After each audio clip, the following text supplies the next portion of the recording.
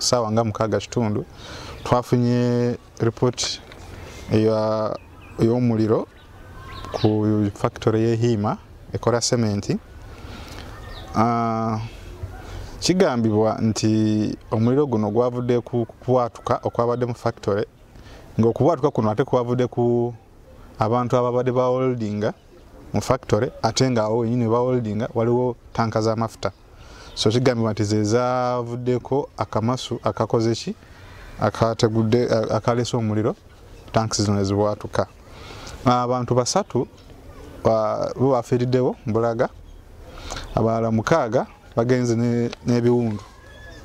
Abantu basatu ababadde obubi ennyo tubasindise mu ddwaliro eryekirembe mines hospital mbeera nga si nungi abalala basatu bo bali mu kilinika eri mu factory nga bafuna bujanjabi.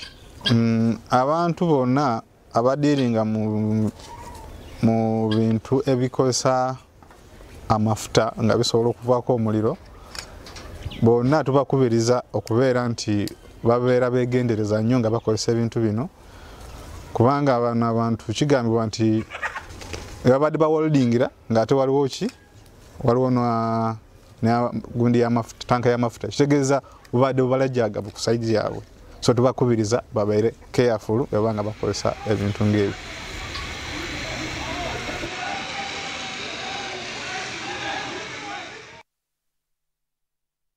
tusaasira ab'enganda zaabo abafiiridde mu nabba